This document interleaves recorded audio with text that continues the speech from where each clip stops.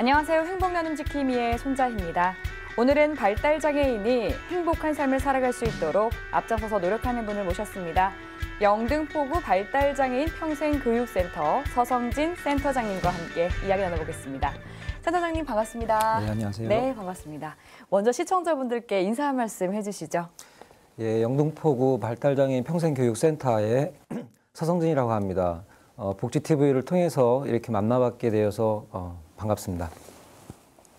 네, 반갑습니다. 어, 그럼 먼저 이 영등포구 발달장애인 평생교육센터가 어떤 곳인지 궁금하거든요. 소개 한 말씀 해주시죠. 어, 발달장애인 평생교육센터라는 게 네, 어, 영등포 구에만 있는 것이 아니라 예, 어, 2016년부터 서울시하고 자치구의 이제 예산을 가지고서 운영이 되어 왔고요. 네. 영등포구는 19번째, 음. 19번째로다가 이제 7월 달에 개설을 네. 하게 되었습니다. 그래서 전반적인 거를 말씀을 드리면 예, 16년서부터 올해까지 22개 구에 음. 어, 발달장애인 평생교육센터가 설치가 완료가 됐고요. 네, 2021년 어, 상반기까지 이제 세개 구에서도 음. 이제 설치가 완료될 예정입니다. 그래서 어 그러면 이제 발달장애인 평생교육센터가 뭐냐라는 이제 궁금증이 생기는데 성인기에 있는 발달장애인 분들이 사실상 갈 곳이 굉장히 제한적입니다. 이따가도 이제 설명을 드리겠지만 네, 그런 장애인분들에 대해서 특히 최중증 평생교육센터는 최중증이라는 이제 수식어가 들어갑니다. 예, 그래서 그런 분들이 갈 곳이 없기 때문에 평생교육센터가 만들어지게 됐고 어, 그런 이제 어, 서울시에서 어, 기본 표준 지침이 있습니다. 그래서 예, 어, 센터에 대한 규모라든가 어, 이용인에 대한 인원 정원수 30명, 그 다음에 이제 센터에서 일하고 있는 종사자 수 이런 것들이 표준화된 지침들이 어, 있고요. 네, 그래서 이제 그 성인 장애인 분들에 대한 어, 평생 교육이라는 단어를 쓰게 된 것이 네, 서울시에서 어, 이 성인분들에 대한 어떤 그런 교육적인 부분을 좀 욕구를 해결해 드리- 드리려고 하니 마땅한 근거가 법적 근거가 없어서 이제 평생 교육법에서 이제 이 근거를 찾습니다. 음, 그러면서 이제 장애인 발달 장애인 발달 장애인에 대한 평생 교육 이런 이제 지침이라든가 조례라든가 이런 것들의 근거를 찾아가지고서 이제 명칭을 어, 발달 장애인 평생 교육센터라고 어, 이렇게 정해졌습니다. 그래서 어, 뒤에 가면은 또 이제 평생 교육센터가 무엇을 하는 건지는 네. 그때 말씀을 드리도록 하겠습니다. 네, 그럼 이제 차근차근 좀더 예. 상세하게 알아가 보도록 하고요. 어, 그럼 성인 발달 장애인분들만 갈 수 있는 건가요? 예, 만 18세 이상. 아, 만 예, 18세 예, 예. 이상의 예. 최중증 발달 장애인 분들 예, 예, 예. 를 대상으로 하는 곳이고, 어, 네, 앞선 내용에서도 말씀을 해주셨지만, 2020년 7월에 어, 이제 교육센터가 개소를 했다고 말씀해 주셨는데, 어떤 계기로 문을 열게 된 건가요? 어, 서두에서, 서두에도 말씀을 드렸지만은 발달 장애인이 이제 저희가 지적 장애하고 네. 자폐성 장애 두 가지를 발달 장애 발달 장애라고 얘기를 분류를 합니다. 네. 근데 이런 분들이 어, 이제 의무 교육인 고등학교까지 과정을 마치고 나면 네. 최중증은 가실 곳이 사실상 없어요. 음, 그래서 저희가 흔히들 알고 있는 장애인 주간보호 센터는 수십 년 전서부터 네. 이제 개발된 이제 서비스 모델이고요. 그 이후에 근데 장애인 그 주간보호 센터도 어, 인원수가 뭐 15명, 뭐 예산을 많이 투자하는 곳은 뭐 3, 40명까지 되기는 하는데 음. 사실상 이제 돌봄의 돌봄 수준에 이제 네. 많이 머물러 있습니다. 그래서 아, 이런 부분에 대해서 사실은 당사자, 예. 발달 장애인 당사자인 부모님들이 네.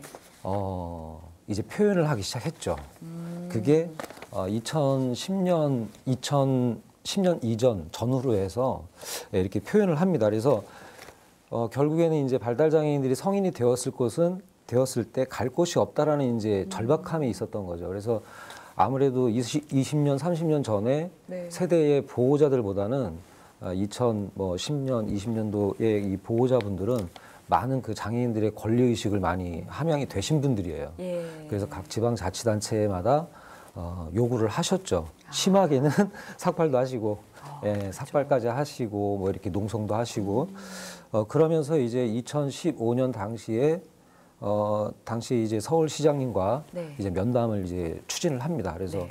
그게 성사가 돼서 어, 15년서부터 이제 이야기는 15년서부터 이루어지기 시작하면서 그럼 어떤 모델이 좋겠느냐 예. 해서 어, 성인분들 그러니까 성인 교육기관이잖아요. 그게 저희도 비장애인들도 성인들이 뭐 지금 이제 50 플러스라든가 뭐 이모작이라든가 이런 개념들이 있듯이 발달 장애인들 같은 경우에는 사실 직업을 가, 직업이라는 어떤 그런 어, 기간을 찾기가 어렵습니다. 네. 고등학교 졸업하면 사실 뭐 우리 비장애인들이야 어, 고등학교 졸업하고 대학 졸업하고 직업을 갖고 그러면서 뭐 50, 60에 다시 또 이모작 50 플러스라든가 뭐 이런 걸로 이제 어, 평생 교육이라는 시스템이 있는데 네. 발달장애인들은 사실 그 기간 그 기간을 생략하고서 평생 교육 평생 교육이라는 네. 아, 요 바로 이쪽으로 들어가야 된다. 아. 그러면 왜 그게 필요하느냐? 사실 어, 고등학교까지 의무 교육을 마쳤지만은 우리가 이제 저희가 계속 강조하는 게 최중증이에요. 네. 최중증 같은 경우에는 뭐 직업이라든가 뭐 스스로 뭐 알아서 자립이라든가 이런 거를 사실상 어렵다라고 일단은 보여지는 그런 분들입니다. 그래서 그런 분들이 스무 살에 그대로 그냥 멈출 거냐? 네. 이, 지금 의료 의학의 어떤 발달에 의해서 수명이 계속 늘어나지 않습니까? 그렇죠. 어, 1990년도라든가 2000년도 전까지만 해도 발달 장애인 분들의 수명이 짧았어요. 아프면 아프다고 표현도 못했고 치과 진료라든가 어떤 발달 장애인들을 병원에 데려간다는 것 자체가 사실상 그 이전에는 어려웠다고 보시면 됩니다. 그런데 이제 예. 2000년 전후로 해서 많은 발전이 있었죠. 그래서 어, 발달 장애인분들에 대한 기대 수명이 높아질 수밖에 없었고 또 오래 사시고요. 네. 그러면은 이분들이 40대, 50대 됐을 때 그러면 이 상태로 그대로 살아야 될 것이냐. 그러면 어, 정규 과정인 고등학교는 이제 특수 교육이라는 거는 교육이에요. 네. 그러면 이분들이 어, 20대, 30대, 40대 때 지역 사회에서 어떻게 그럼 살아갈 것이냐. 우리가 흔히 얘기하는 도전 행동을 그 지역 사회에서 받아줄 수도 없는 거고, 그럼 그 도전 행동에 대한 이해를 지역 사회가 어떻게 하고 있는지, 또 이 도전 행동이라는 부분이 발달 장애인 당사자 스스로가 어떻게 조절을 하고 지역 사회와 관계를 맺을 것인지 예. 이런 토탈적인 것을 교육해주는 그런 기관이 필요하다라는 게 이제 결론에 어, 도달을 하게 되었죠. 그래서 어, 많은 어려움이 있었다고 저도 들었습니다. 그러니까 어떤 법적인 근거도 찾아야 되고 네. 특히 예산 문제죠. 한 개 구마다 저희가 이제 국- 어, 서울시하고 각 지방자치단체에서 받는 재원들이 그렇게 적은 건 아니에요. 네. 부족하지만 네. 예, 적은 건 아닙니다. 그래서 어, 그런 예산들을 이제 만들어내고 또 지속적으로 이제 또 투입을 해야 되니까 그런 장기적인 계획들을 세워 나가는 게 쉽지만은 않았지만 어, 결국에는 이제 서울시에서 그걸 받아들이기 시작을 했습니다. 그래서 어, 16년도에 노원구 하고 은평에서 이제 두 개 센터가 이제 시작을 하면서 네. 17년, 18년, 19년도에 계속 이어져서 장기적으로 어, 5년간의 계획을 세워서 그럼 25개구에 다 설치하는 걸로 하자 라고 이제 계획을 잡게 됐고 네. 어, 그래서 이제 영등포 저희 센터 같은 경우에는 19번째인데 네. 어, 영등포구가 발달장애인에 대해서 지원을 많이 하는 구입니다.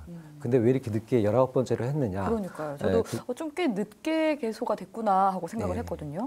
영등포구는 이미 오래전서부터 예. 아동과 성인 발달 장애인들을 통합적인 그 지원 센터를 만들어서 운영하고 있었습니다. 그게 아. 아, 요 가까이에 있는 꿈더하기 지원 센터라는 곳이 어, 있습니다. 네. 예, 그래서 이제 그 이미 이제 성인 장애인, 성인 발달 장애인들과 아동 발달 장애인들을 이제 통합적으로 지원하는 센터가 있었기 때문에 그 사업을 정리하면서 이제 평생교육센터를 이제 다시 새롭게 어, 네. 설립을 하다 보니까 아. 열아홉 번째가 되었죠. 그래서 어, 계기라고 얘기하면은 일단 부모 그 발달 장애인 보호자 당사자분들에 대한 절박함, 네. 음, 예, 더 이상 성인이 되었을 경우에 집에만 있어야 되는 지금도 상당히 아, 집에만 있는 분들이 많이 있으세요. 네. 예, 그리고 또 장애 등록 안 하신 분들도 계시고요. 어, 예, 그렇게 해서 이제- 센터에 오시는 분들 중에요. 센터는 이제 지적 장애와 자폐성 장애 등록을 받으셔야만 올 수 있고요. 예. 그런데 저희가 상담을 하다 보면 음, 그냥 집에서 그냥 데리고 있는 그리고 부모님들 욕구는 그렇지 않습니까? 우리 아이는 장애가 아니야. 네, 인정을 하고 싶지 않으신 예, 거죠. 그러다 보니까 일반 고등학교를 일반 고등학교 내에 특수 학급을 네. 예, 보내서 그냥 발, 장애 등급 없이 음. 예, 장애가 있는 건 인정을 하지만 등록은 하- 하고 싶지 않은 그런 부모님들이 계시기도 해요. 하지만 이제 장애인 복지 서비스가 점점 고도화되면서 예. 어, 보호자분들의 생각도 바뀌, 바뀌기 시작하죠. 음. 아, 장애인 등록증이 없으면 어, 제도권의 서비스를 받지 못하는구나 이런 네. 인식들을 하기 시작하면서 이제 등록을 하시게 어, 되죠. 예. 그래서 뭐 결론적으로 말씀을 드리면 네. 어, 성인 장애인, 성인 발달 장애인, 최중증 발달 장애인들이 장기적으로 우리 지역 사회 내에서 음. 예, 통합적으로 살아갈 수 있는 교육들을 지속적으로 해주는 그런 평생 교육 기관이 필요하다라는 게 계기라고 말씀드릴 수 있겠습니다. 네, 그러니까 성인 최중증 발달 장애인 분들이 지역 사회에서 잘 살아갈 수 있도록 예, 돕는 예, 예. 어, 기관이라고 볼 수 있겠는데요. 예. 그런데 말씀해주신 것처럼 계속해서 이제 의학 발달도 이루어지고 있고 또 장애 인식에 대한 개선도 어, 이루어지고 있는데 따라서 또 이렇게 센터도 설립이 되게 된 것 같은데 어 근데 또 2020년에 개소를 하다 보니까 코로나19가 또 2020년에 발발했잖아요. 그 영향도 있으셨을 것 같은데 어떠셨나요? 어, 되게 많이 있고요. 좀 안타까운 일들이 많이 있죠. 어떤 일들이요? 예, 그러니까 어, 영등포 발달장애인 평생교육센터는 이제 제가 센터장으로 6월 달서부터 어, 준비를 하기 시작을 했고요. 고민도 많으셨을 것 같아요. 뭐 늘상 하던 고민이라 예. 적용을 했습니다. 적용을 아. 했는데 근데 이제 이 코로나라는 거는 사실 뭐 우리 대한민국에 있는 모든 사람들이 처음 경험하는 거잖아요. 누구도 예측하지 예, 못했죠. 예, 예. 메, 뭐 메르스라든가 뭐 이런 것들 가볍게 예. 그냥 넘어갔지. 그렇죠. 어, 코로나처럼 이렇게 사회 통제가 이루어지는 시대는 어, 저도 처음 경험해 보는 네. 거고 사회복지 현장에서 어떻게 이 문제를 풀어나갈 것인가 지금 다 고민하고 있는 상황인데 전례 없던 상황이죠. 그렇죠. 예, 전혀 처음이죠 다. 예. 어, 그런데 이제 저같이 신규 센터를 네. 준비하는 입장에서 뭐 이용인들을 만나보지도 않았고 또 직원 우리 선생님들도 음. 채용 전이고 네. 네, 많은 고민이 고민이 좀 있었죠. 그래서 일단은 어 저희가 이제 이용자분들을 어 지금 시간을 두고 기간을 두고서 점진적으로 이제 그 이용인들을 모집을 하기 시작을 했고요. 네. 어, 선생님들 같은 경우에 6월 6월까지 어, 전체 이제 인원들을 다 채용을 했고 음. 이제 근데 욕구들이 계속 있으셨기 때문에 평생교육센터가 빨리 개소가 되기를 원하시는 욕구를 부응하기 위해서는 어, 7월 1일서부터 사실 저희가 서비스 제공을 시작을 했습니다. 네. 어, 근데 이제 코로나 상황이었고 그때 당시에 그 다른 자치구에 있는 평생교육센터는 서울시 지침에 의해서 휴관 조치가 되고 그랬던 시대였습니다. 5월, 6월 달 막 이때가. 그러면서 이제 8월 달 정도에 좀 약간 소강 상태가 되, 되다가 다시 확산이 됐는데 어 그래서 많은 어려운 점은 일단 저희가 전체 그 저희 평생교육센터는 어, 30명 정원에 여섯 명이 한 반으로 다섯 개의 교실을 운영을 합니다. 네. 기본. 네. 근데 각 센터마다 상황에 따라서는 뭐 이용인 세명이한 반이 될 수도 있고요. 그건 센터 상황에 따라서. 근데 저희는 이제 어, 여섯 명 이용인이 한 반을 이제 운영을 하는데 네. 그러기 위해서는 전체 이용인에 대한 어, 30명이 딱 들어와서 네. 그러면 이제 이용인 간의 어떤 관계성도 좀 보고 이용인의 어떤 개별적인 특성도 파악을 하고 그렇게 해서 반이 분 반이 편성이 되고 또 선생님들이 배정이 되고 이제 이런 절차들을 이제 거치지 못했죠. 그래서 어 7월서부터 긴급 돌봄 위주로 긴급 돌봄 위주로다가 어 진행이 됐었고 어 그런 와중에 저희 센터에서 확진자가 나온 건 아닌데 저희 센터를 등록하신 이용인이 네. 이용인이 어, 아버님이 사업을 하시는데 예. 예, 사업 관계상 만나신 분 때문에 이제 가족이 이제 확진이 아, 아버님하고 이제 우리 어, 성인 장애인분이 이제 확진이 됐어요. 오.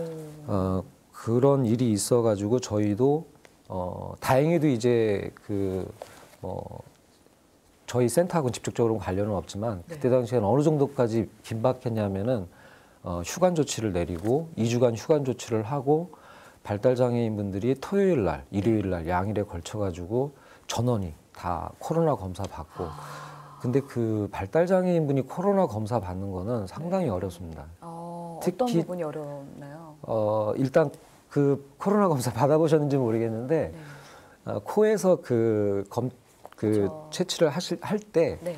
어, 저도 받아봤거든요 그때. 예. 네, 통증도 좀 있고 음, 그다음에 이제 두려워하죠 발달 장애인 분들은 그쵸. 그 환경 자체를. 음, 뭐 그래도 이제 어, 부모 보호자들이나 저희 선생님들이 현장에서 같이 있다 보면 조금씩 이제 마음의 위안을 느끼는 것도 있지만은 그렇지 않은 이용인들이 있거든요. 그죠. 비장애인분들도 왜 그 낯선 환경이기 때문에 네. 좀 겁나잖아요. 그리고 실제적으로 어떤 보호자분은 우셨어요. 아, 왜냐하면은 어, 정말 거기까지 가는 것도 힘들었지만 네. 예, 영등포구 보건소까지 가는 것도 힘들었지만 아, 이런 얘기하면 좀 뭐하지만 당연히 이제 그 어, 일하시는 분들도 뭐 경무에 희, 정말 많이 시달리지 않습니까? 그때 당시에는 또 코로나 확산사 확산이 막 지속적이었기 때문에 발달 장애인이라는 걸 모르는 거죠.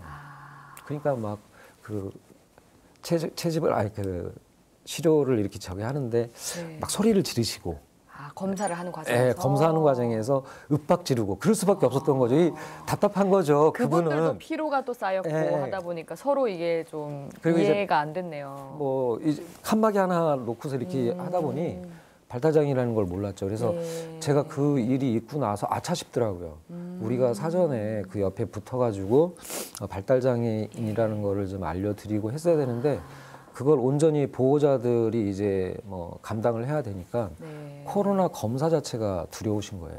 아, 그래서 굉장히. 예, 코로나 시대에는 지금 일반 비장애인들보다는 발달 장애인 분들이 되게 보호자분들이 발달 장애인 분들은 천진난만하시죠. 천진난만한데 어, 그런 보호자분들은. 굉장히 좀 어려움이 있고 네. 그 확진받은 당사자 발달 성인 장애인 분은 네. 실질적으로 입원하는 과정이 굉장히 어려웠어요. 어, 입원하는 과정이요? 예. 그러니까 이제 확진을 받았으니까 네. 우리나라에서 발달 장애인의 발달 지금도 앞으로도 문제입니다. 음. 발달 장애인이 확진을 받았을 때 어떻게 병원에서 케어하고 치료할 것이냐. 아, 그리고 그 발달 장애에 대한 그 인식이라든지 이해도가 또 중요하겠네요. 예, 그 다음에 저희가 사람이 붙어야 돼요. 그렇죠. 근데 이제 그게 상당히 어려웠는데 그때 당시에는 아버님이 아버님이 먼저 확진을 받았기 때문에 아버님이 서울 어, 서울 관내에 있는 병원에 입원을 하셨고 근데 그 병상이 안 나오죠 거기는. 아, 그러니까 발달 장애인 분은 집에서 지금도 지금 그런 사태들이 좀 벌어지고 있지 않습니까? 집에서 대기하고 그렇죠. 대기하는 거죠. 다행히 어, 엄, 어머 어머니하고 어, 여동생은 어, 확진을 안 받았어요. 음성 네. 상태로 그냥 자가격리만 아, 하셨는데 그럼 그 돌보는 지원을 하기도 굉장히 그걸- 어렵겠어요. 네, 그거를 찾아봤는데 예. 상당히 좀 어려웠고 그때 그래서 다행히도 네. 아버님께서 이제 병원 측에다가 계속 요청을 해가지고 우리 발달 장애인 자녀가 확진인데 어, 그때 6인실에 있었다고 하더라고요. 그래서 6인실에 어떻게 자리를 내줄 수가 없겠냐라고 해서 한 3일 뒤에 그 병원 쪽, 보건소 쪽하고 병원소 쪽하고 해서 아버님하고 같이 그나마 이제 그렇게 해결이 된 거죠. 그런데 만약에 발달 장애인 당사자 혼자만 확진이 된다고 했을 있다면? 때는 진짜 보호자들 문제군요. 입장에서는 예, 진짜 굉장히 힘든 그렇죠. 이게 전염병이다 네. 보니까 또 접촉하기도 힘들고 그죠. 예, 저희가 이제 9월 달에 그런 경험을 겪고 나서 직원들부터 저부터 이건 남의 문제가 아닌 거예요. 예. 저야 제가 만약에 확진을 받았으면 어, 지탄을 받겠죠. 네. 예, 시설장이 조심하지 못하고 이건 이제 감수를 해야 되는 부분인데 네.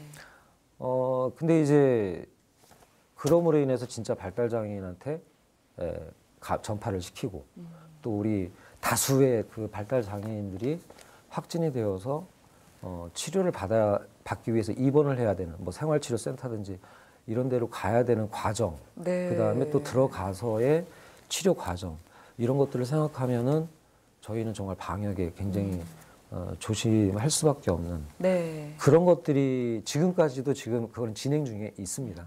지금도 그쵸. 진행 중에 이거 그런 어려운 점들이 많이 있었고요. 특히 휴가한 상태에서는 어, 발달 장애인 분들이 도전 행동이 두드러지게 나타나시는 분들도 있고 또 이제 간헐적으로 나타나시는 분들도 있는데 휴관 중에 장기가 못 나오니까 스트레스가 쌓이는 거예요. 어, 정말 평상시에 얌전하고 그러던 여성 발달 장애인 분도 이상 행동을 하기 시작한 거죠. 어, 집안에 있는 가구 도구를 옥, 어, 베란다 밖으로 던진다거나 네. 어, 부모한테 이제 보호자한테 반항을 한다거나 이런 현상들이 이제 발생하기 시작을 했고 음. 그러다 보니까 저희 센터 입장에서는 코로나 단계 상승이 너무 두려운 거예요. 네. 지금 2.5단계에 걸려 있는데 3단계가 되면 이제 휴관을 해야 되, 해야 됩니다. 그렇죠. 그래서 지금 현 뭐 그런 상황들이 휴관이 안 됐으면 좋겠다라는 거는 음. 어, 정말 이용인들이 이틀에 한 번이든 3일에 한 번이라도 나오면 네. refresh가 되거든요. 좀 순환이 돼요. 음. 예, 집에서 이틀, 3일 있다가 아 그래도 평생교육센터 간다라는 어떤 그런 기대감이 있- 있기 때문에 네. 또 저희가 약속을 하면 또 와서 뭐 5교시 짧은 5교시 수업이지만 그래도 어느 정도 같이 저희 선생님들과 관계를 맺으면 다시 또 뭐 이틀, 3일을 버틸 수 있고 그런 과정이 있는데 네. 예, 뭐 코로나가 이제 확산이 되고 또 당사자가 확진을 받았을 때는 상당히 좀 어려운 일들이 많이 있기 때문에 그런 센터, 특히 발달장애인 평생교육센터는 그런 부분이 많이 어렵습니다. 네. 아, 정말 이게 뭐 백신 소식도 간간히 들리기는 합니다만 어, 하루 빨리 코로나19가 끝나서 모두가 좀 자유로운 일상을 되찾을 수 있으면 좋겠습니다. 예, 예, 예. 그럼 이제 질문을 바꿔서요. 이 영등포구 발달장애 평생 교육센터에서 진행하고 계시는 여러 사업이 또 있으실 텐데 그 중에서 좀 가장 중점적으로 진행하고 계시는 사업이 있다면 말씀 부탁드립니다. 어, 거창한 건 없고요. 네. 어, 성인 발달 장애인 분들이 이미 유아기 때하고 초, 중, 고등학교를 거쳐오면서 네.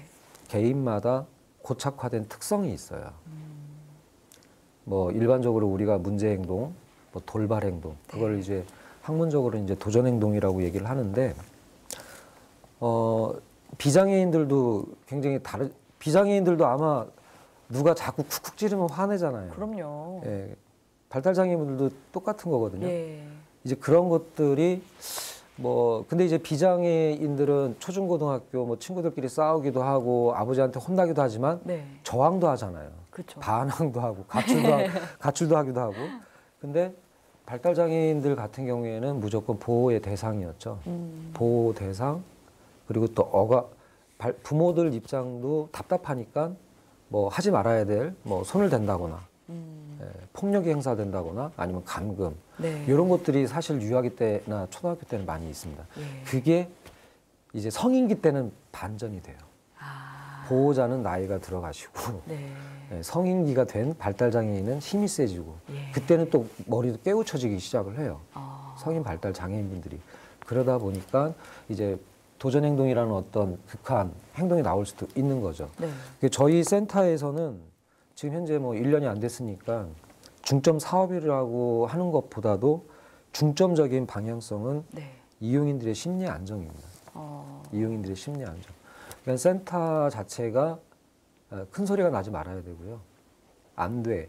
뭐 이렇게 부정적인 이런 것이 나오면 안 돼요. 이게 저희 선생님들도 사실 평생교육센터가 첫 근무이신 분들도 있거든요. 음. 어, 저 같은 경우는 이제 장애인 복지 분야에서도 이 근무를 했었고 네. 실제 뭐 2년 동안 주간보호 센터 팀장으로서 직접 우리 발달장애인분들하고 같이 부딪히면서 있어 보기도 했는데 심리 안정이라는 거는 결국에는 올바른 상호 관계가 작용됐을 때 이루어집니다. 네. 저희가 저희가 초기 모- 초기이기 때문에 어, 또 이제 이용인들과 선생님들 그 다음에 이용인과 이용인 어떻게 하면 조직 문화를 만들 것이냐. 네. 이 평생교육센터도 하나의 작은 지역 사회거든요. 이 지역 사회 간의 상호 간의 관계, 설정. 이런 것들이 이제 수업을 통해서도 이루어질 수 있는 거고요. 댄스를 하든 음악 뭐 프로그램을 하든 만들기를 하든 가장 중요한 거는 센터 내에서 심리 안정을 취해야만 그 다음 단계로 넘어갈 수 있다. 네. 이게 이제 저희들의 가장 기본적인 중점적인 사항이고요. 음. 어, 그러면서 이제 제가 말씀드렸듯이 이제 어, 이용인과 이용인 간의 관계는 그렇게 크게 이렇게 뭐 좋아지지 않을 수도 있어요. 음. 하지만 이용인과 일차적인 목적은 어, 선생님들과 우리 이용인들 간의 사회적 관계, 예, 상호 관계가 잘 형성될 수 있도록 예. 예, 이게 가장 첫 번째고요. 그 다음에 이제 프로그램적으로 간다고 하면은 어, 저희는 이제 지역사회 적응이 중점이겠죠. 음. 지역사회 주, 적응이 어, 서울시 지침에 의해서 네. 평생교육센터는 여섯 가지 필수 영역과 선택 영역이 정해져 있습니다. 아. 네, 영역이 정해져 있는데 그 중에 하나가 지역사회 적응인데 어, 지역사회 적응은 어, 우리 발달장애인 당사자만 이제 바뀌어서 되는 건 아니지만 일단 우리 발달장애인들이 어, 지역 내에서 적응하기 위한 이제 근데 코로나 때문에 지금 못 하고 있죠. 네. 네, 코로나 때문에 지역사회 돌아다닐 수가 없으니까 그죠. 네, 한 한 달 정도는 다녔어요. 그런데 아. 좀 풀어졌 풀어졌을 때 그런데 네. 지금은 전면 뭐 절대 할 수가 없고 그러다 네. 보니까 지역사회 적응이라는 거는 지역사회 주민을 만나야 돼요. 음. 이제 그런 것들을 이제 좀 저희는 중점적으로 하고 음. 내부적으로는 이제 바리스타는 발달장애인들한테 상당히 좋은 활동인 것 같아요. 직업으로 네. 연계될 수도 있고 취미로서 끝날 수도 있겠지만은 음. 그래서 바리스타 바리스타는 지금 한 2천만 원 넘게 저희가 장비 세팅을 다 끝냈습니다. 네, 그래서 하나의 그 실을 카페처럼 만들어서 예. 교육장으로 어. 어, 그렇게 해서 이제 동호회라든가 음. 뭐또 거기서 또 다도도 할 수가 있고요.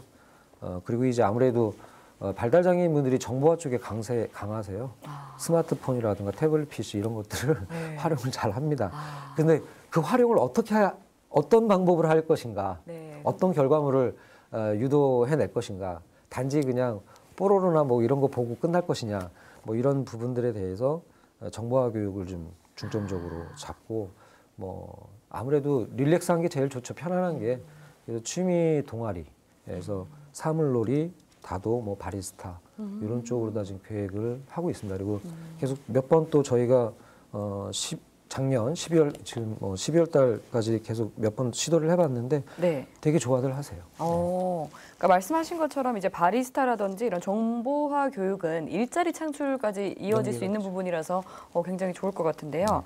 어, 그렇다면은 지금 현재 센터에 다니고 있는 발달 장애인분들의 현황은 어느 정도인가요? 어, 지금 현재 저희가 서울시 지침에 의해서 30명 정원이고요. 예. 어, 센터장하고 행정 우리 담당 직원 2명 제외하고 10명의 교사들이 있으세요. 어, 어, 그래서 이제 10명의 교사가 있는데 정원이 30명인데 네. 현재 22명이 계시고요. 8명을 더 충원을 해야 되는데 네. 지금 졸업 시즌이 있잖아요. 이제 3월 달까지 졸업 시즌이 있고 또 발달 장애인 그 가정에서도 어디 길로 갈 것이냐 진로 결정을 하죠. 근데 이제 평생교육센터가 정원이 차면은 어, 5년 동안 그냥 가기 때문에 네. 어, 정원이 차면 또 들어오기가 어려워집니다. 어. 근데 지, 뭐 지금은 8명의 그 티오가 비어 있기 때문에 네. 저희가 결격 사유만 없다면은 바로 이제 등록이 가능한데 어, 왜 여덟 명이 비었나 저희도 이제 곰곰이 생각을 해봤어요. 네. 어, 그랬더니 최근에 생긴 강남 어, 평생교육센터도 상황이 비슷한데 이 코로나 음. 코로나 때문에 어, 보호자분들이 섣불리 포, 이제 이런 거죠. 아 평생교육센터 지금 휴관도 하고 나갔다 말다 뭐 이렇게 하는데 차라리 현재 그냥 집에 계속 있었어 우리 자녀는 네. 그냥 예, 새로운 변화 안 주고 일단은 코로나가 진정될 때까지 어, 그냥 집에서 있을래. 지켜보겠다. 예, 네. 뭐 이런 반응이 계시는 분들도 있죠. 아, 수 어. 그리고 어, 평생교육센터가 누구나 다 결격 사유만 없으면 5년 동안 서비스를 받을 수 있는데 네. 5년을 받고 나면 더 이상 서비스를 이용을 못 합니다. 아, 서울시에 있는 모든 평생교육센터가 통합 5년이에요. 네. 예, 그렇기 때문에 보호자분들도 그 부분에 대해서 좀 어, 걱정하세요. 5년 끝나면 또 어디로 갈 것이냐. 근데 지금 이제 이슈화되고 있는 거는 서울시에서도 그 네. 문제점은 알고 계세요. 음, 평생교육센터 다음에 모델은 그 다음 모델은 뭐냐. 그렇죠. 예, 그대로 그러면 또 방치할 거냐. 그럼 뭐 주간보호센터 다음 모델이 평생교육센터라고 할 수가 있는데 그럼 평생교육센터 다음 모델이 무엇인지 이제 그게 음. 고민인데 그러다 보니까 어, 보호자분들도 코로나 시대에 이렇게 이용하는 것보단 좀 코로나가 진정이 되고 나중에 자리가 있다면 어, 그때, 음. 그때 이유, 좀더 네. 네, 잘 근데 이제 싶구나. 제 입장에서 추천드리는 거는 예. 어, 고등학교 졸업하고 또 뭐 아니면 30대 이전 뭐 지금 저희 뭐 이전에 좀 5년 동안 집중적으로 이런 평생교육 그 책 교육 체계 내에서 뭐 교육이라고 하긴 좀 그렇지만 어떤 다양한 활동이라든가 뭐 이런 걸 통해서 뭐 집중적으로 좀 이런 시간을 가지면 네. 뭐 장담할 수 있지만 어떤 변화가 있을지 모르지 않습니까? 그렇죠. 네. 그래서 어, 고등학교 졸업하고 나서 바로 오시는 게 어떨까? 음, 뭐 아니면은 이제 직업 쪽이나 이런 쪽 경험을 하시다가 이제 실패라는 걸 또 하고서 다시 오실 수도 있잖아요. 네. 그래서 뭐 그건 선택이기 때문에 저희가 뭐라고 할 수는 없지만 네. 어, 5년 동안의 어떤 집중적인 그런 서, 그 교육 기간 요거를 좀 고등학교 졸업해서 이어서 하면 좋겠다라는 생각이 들고요. 현재 저희가 어, 22명 중에 여자 이용인은 6명 계시고요. 남자가 16명이세요. 역시 네. 남자분들이 그 비율이 훨씬 높고요. 어, 그 다음에 발달 장애는 자폐성 장애하고 지적 장애 두 장애를 말하는데 어, 11명, 11명 각각 예, 그래서 50%씩 그렇게 이용하고 계시고요. 네. 또 평생교육센터는 어, 수급권자 기초 수급권자분들을 10%를 받게 돼 있습니다. 아. 그래서 이제 22분 중에 어, 세 분은 기초 수급권자는 이미 저기 등록이 돼 있으시고요. 그 다음에 평생교육센터는 타 구에 계신 어, 발달 장애인 분들도 10% 이, 10% 이내에서 받으실 수 있어요. 그리고 또 그래서 그런 타구에 계시는 분들도 10% 정도 지금 이용을 하고 계시고요. 어, 타 지역에 계신 분들도 예. 오고 이제 계세요? 그럴 수밖에 없었던 게 네. 평생교육센터가 동시에 막 25개 구에서 다 동시 설치가 된 게 아니라 점진적으로 하다 보니까 네. 인근 어, 지역 예. 인근 지역에 있는 뭐 그런 분들도 음. 이제 부모님들의 요구였죠. 어, 우리 구만 이렇게 할 수는 없지 않냐. 왜냐하면은 다른 구에 뭐 지금 아직까지 세 개 구가 지금 설치 전이지 않습니까? 이제 그런 네. 미설치되어 있는 구에 있는 발달 장애인 분들 같은 경우에는 다른 구에 평생교육센터 자리가 있다면 지금 이용할 수 있는 그런 문을 열어 둔 거였죠. 네. 어, 그리고 또 제가 어, 듣기로는 평생 교육센터에서 말하기라든지 뭐 듣기와 같은 이런 언어 습득에 대한 교육도 진행하고 있는 것으로 알고 있습니다. 이 부분은 어떻게 진행되고 있나요?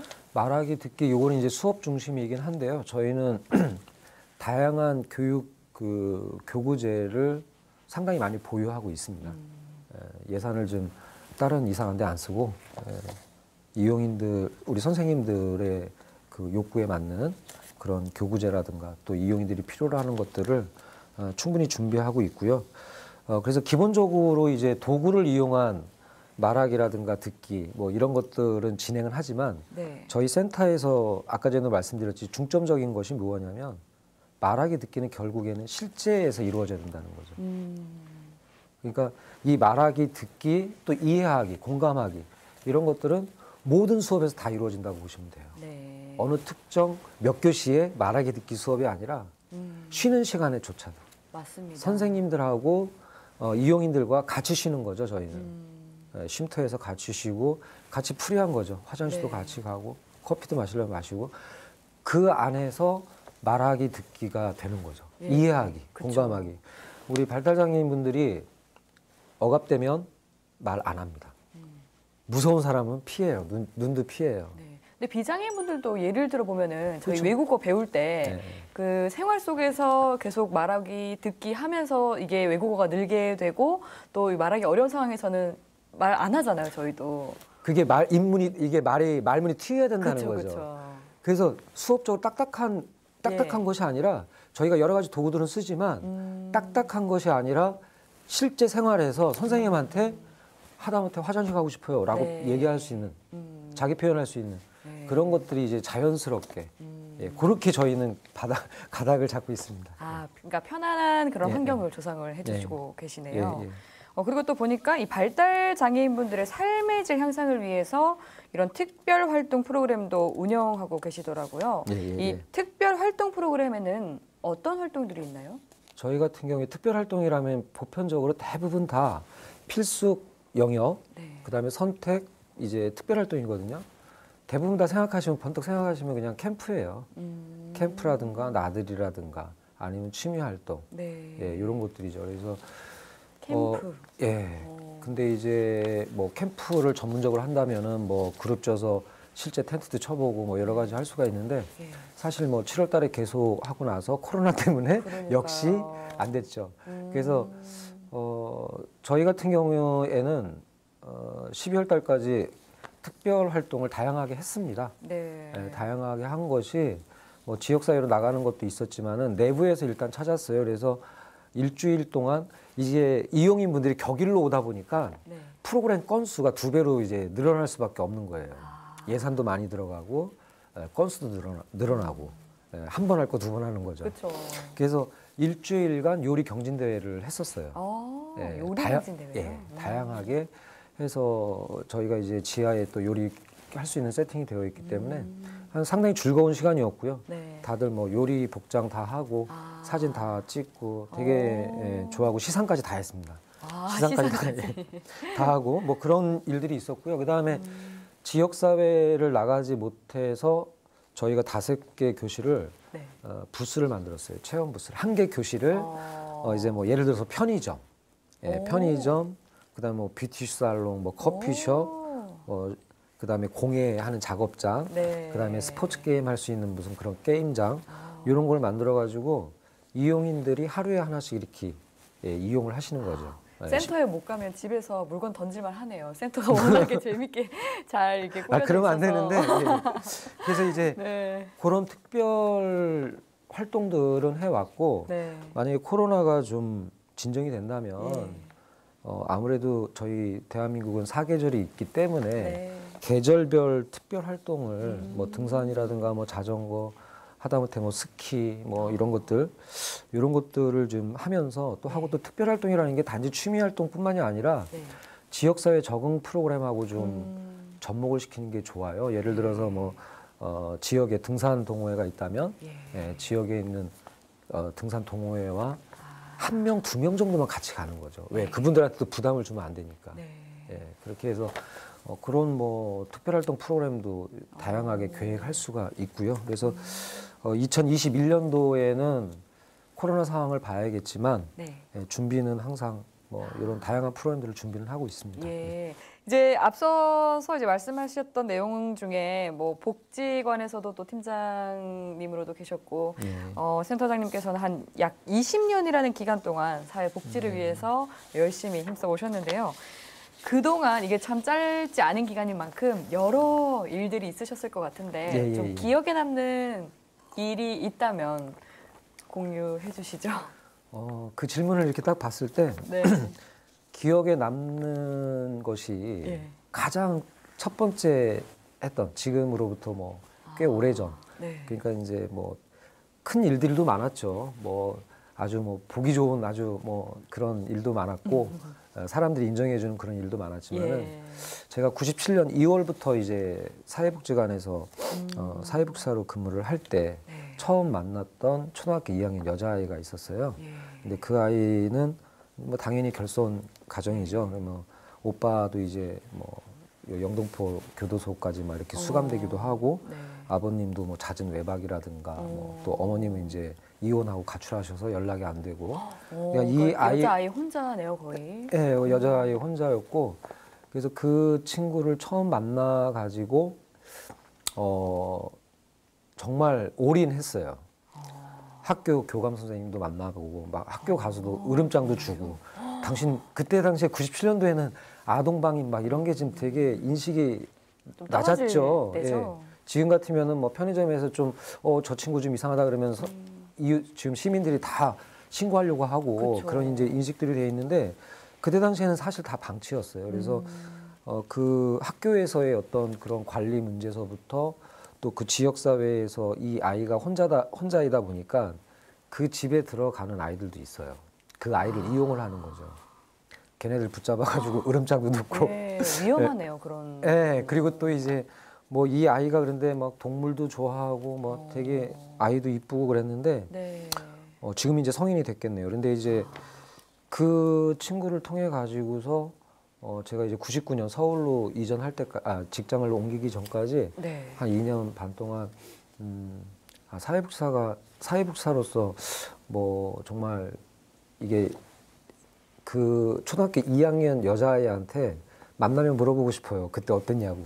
그리고 지금 그 친구가 이제 어떻게 살고 있는지 어. 예, 궁금하기도 하지만 네. 어, 간헐적으로 예. 예, 결국에는 그 친구가 고등학교 때, 아, 중학교 때인가 이제 보육시설로 들어갔어요. 음. 아동시설로 들어갔고 이제 소식을 들었죠. 예, 그 친구한테 들은 게 아니라 네. 이제 거기 시설 담당하는 선생님한테 어. 얘기를 들었는데 공부를 굉장히 열심히 하고 막 그런다고 하더라고요. 오, 그래서 너무 좋은 소식이네요. 예, 결국에는 그 가정은 사실 다시 다시 일어나기에는 제가 네. 떠나올 때도 굉장히 어려웠고 어. 그래서 중학교 진학하면서 어, 이어받았던 우리 복지관 선생님이 어, 시설 쪽으로 다 이렇게 해서 어, 해서 그쪽에서 공부 열심히 하고 잘 지내 아 마 잘 됐을 거라는 생각이 든다. 그래서 아, 그때의 어, 사회복사란 과연 뭔가 네, 음. 그런 걸 많이 느끼게 됐죠. 아, 어, 그리고 굉장히 이 마지막 엔딩이 좀 해피엔딩 같아서 아직까지 확실하진 않지만, 아, 예, 예. 예, 그래도 굉장히 좀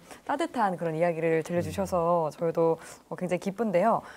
그 학생이 지금은 성인이시겠지만, 그죠? 그렇죠. 예, 어, 예. 성인이시겠지만, 저희 복지TV 행복나눔 지킴이를 꼭 보셔가지고 예. 센터장님과 또 연락이 좀 닿으면 그럼 좋죠. 네, 굉장히 좋을 것 같습니다. 예, 예, 이렇게 예. 센터장님의 긴 이 사회복지를 위한 오랜 세월 동안 가장 먼저 떠오르는 예, 예, 예. 학생이었으니까. 네, 또 의미 있는 분이니까요.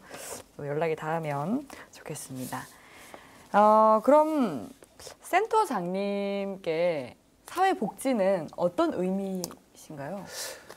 어, 사회복사들끼리 항상 젊었을 때도 어, 항상 얘기했던 게 어, 사회복사 사회복지사가 없어지는 나를 위하여 아. 하면서 한잔하고 그리고 또 이제 사회복지가 필요 없는 국가를 위해서 네. 예, 그게 뭐냐면 어, 정말 이제 이 도움, 도움이라든가 뭐 이런 게 필요한 소외계층이나 이런 사람들이 사회복지사가 아니어도 또 사회복지 제도가 아니어도 국가 제도 자체가 그냥 국가 제도 자체가 그런 어, 취약계층에 있는 정말로 도 어, 발- 발달장애인, 발달장애인, 경제적으로 어려우신 분들, 어려운 분들 네. 이런 분들을 토탈적으로 다 케어할 수 있는 음. 그런 이제 국가를 국가가 네. 만드는 거를 이제 사회복지가 아닐까 생각을 하면서도 네. 이제 철학적으로 얘기하면 뭐 사람의 가치 우리가 살아가는 게 사람의 가치지 않습니까? 예, 사람의 가치가 땅바닥으로 떨어졌을 때는 뭐 정말 끔찍한 일들이 벌어지는데 어, 어찌됐든 현재 우리 사회에서는 이 사회복지라는 부분이 없다면 사람의 가치가 계속해서 추락할 수밖에 없을 것 같고요. 네. 그래서 사회복지라는 거는 어, 사람의 가치를 유지해주는 음. 어, 그런 존재가 아닐까 이런 생각이 좀 듭니다. 아, 네. 좋은 말씀 네. 해주셨는데요. 어, 그럼 이제 앞으로의 목표와 계획은 어떻게 되시나요? 일단 저희가 아직 초기이기 때문에 네. 어, 앞으로 5년이라는 기간 동안 저희는 이제 어, 등록되어 있는 이용인들에 대한 개별 파악을 뭐좀 더 해야 되고요. 또 우리가 어, 선생님들 인원이 1대1이면 좋겠지만 1대1이 아니기 때문에 그룹적인 부분, 집단적인 어, 접근 방법도 필요하고요. 또 개별적인 부분도 필요하고 해서 막연하게 안 될 것 같다라는 게 아니라 5년 뒤는 누구도 안 가봤잖아요. 그렇죠. 5년 뒤는 누구도 안 가봤기 때문에 아, 그 저희가 집중해서 해야 될 부분은 어, 일단 저희 센터를 이용하고 있는 어, 이용인들 당사자들에 대한 어떤 개별 욕구 파악을 파악을 해서 그냥 파악만 하는 것이 아니라 저희 같은 경우는 이제 데이터 관리 시스템을 개발을 해가지고 네. 어, 실질적으로 좀 뭔가 분석도 좀 하고 또 그런 이제 개입한 내용들을 즉시 즉시 우리 선생님들하고 공유도 하고 또 이런 내용들을 가지고 지역사회 자원을 접근을 해야겠죠. 그래서 지역사회 자, 어, 분명히 필요한 우리 이용인 한 명한테 필요한 자원이 있을 거라는 생각이 들어요. 네. 그럼 이제 그런 자원들이 뭐 100개가 있다면 그 중에 한 개의 자원만 찾아도 에, 후견 자원만 찾아도 정말 어, 이 성인 장애인이 뭐 지역 사회에서 살아가는데 큰 도움이 되지 않을까 싶고요. 그 다음에 저희가 내년서부터 지금 지, 진행하려고 하는 목표는 우리 이용인이 거주하고 있는 지역 탐방이에요. 음. 예, 저희가 이제 나를 잡아서 어, A라는 이용인이 뭐 어디 거주하고 있으면 그 지역 사회를 같이 탐방하면서 원래 생활했던 동선을 에, 움직이면서 어, 저희가 이제 뭐 마트 주인 뭐 아니면 미용실 뭐 이런 데 가서 같이 어떻게 하는지 좀 관찰도 하고 또 그 지역 사회에서 앞으로 뭐 10년 뒤, 20년 뒤 어떻게 살아갈 것인지 같이 설계도 해보고 네. 뭐 이런 소소한 계획들을 갖고 있습니다. 네. 아, 네. 이 5년 뒤가 더, 더 기대가 되는데요. 네. 그럼 이제 마지막으로 시청자분들께 한 말씀 해주시죠. 예, 뭐 발달장애인 분들이 지역 사회에서 어, 통합적으로 살아가기를 거부하시는 분들은 없으세요. 거부하시는 분들은 없지만 어, 저희가 이제 바라건대 일단은 어, 발달 장애에 대한 이해가 어, 좀 필요하다는 생각이 들고요. 저희 발달 장애인 분들이 홀로 서기를 하기 위해서는 분명히 어, 우리 지역 사회에 계신 여러분들의 아, 힘이 필요하다는 거 잊지 말아 주시고요. 앞으로도 많은 관심 부탁드리겠습니다. 감사합니다. 네, 오늘 말씀 감사합니다. 예. 네, 지금까지 영등포구 발달장애인 평생교육센터 서성진 센터장님과 함께 했습니다. 행복 나눔 지킴이 오늘은 여기까지입니다. 시청해주신 여러분 고맙습니다.